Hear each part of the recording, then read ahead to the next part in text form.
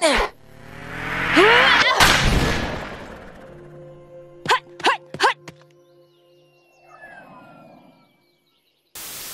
What's up, SU fans, and welcome to another Steven Universe analysis. This episode as well was quite short and simple, so let's get down to the facts. The episode basically continued from where we left off at the ending of the previous episode. The Rubies officially land on Earth and we're out to capture the wanted suspect. But there's a reason for why I said a suspect. There were two basic things that I learned after watching this. And that's one, rubies are extremely dumb, and two, Yellow Diamond sent out her forces for not Peridot, but instead Jasper, who still has not yet been found. I guess Yellow Diamond didn't care too much about Peridot since there are already thousands of her, or him.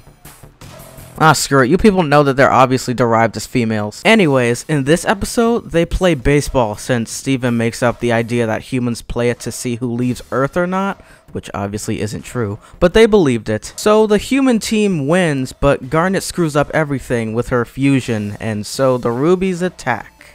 Whoops. However, once the Rubies form their fusion to attack, Steven says that Jasper is on Neptune and not Earth, which is also a lie. But the funny part about it is that they actually believe him.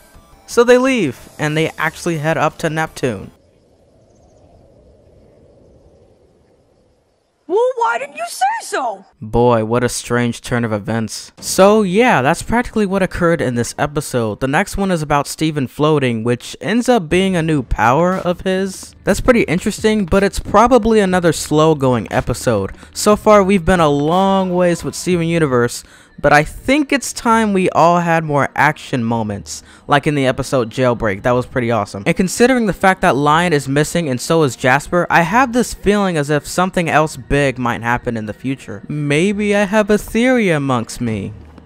Or maybe not. I, am not really too sure what to say about this. But as of right now, I hope you all enjoyed my analysis over this episode, and I'll catch you all next time. Peace.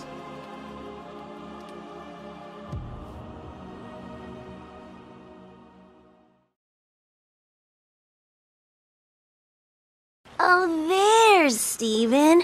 Just flying around.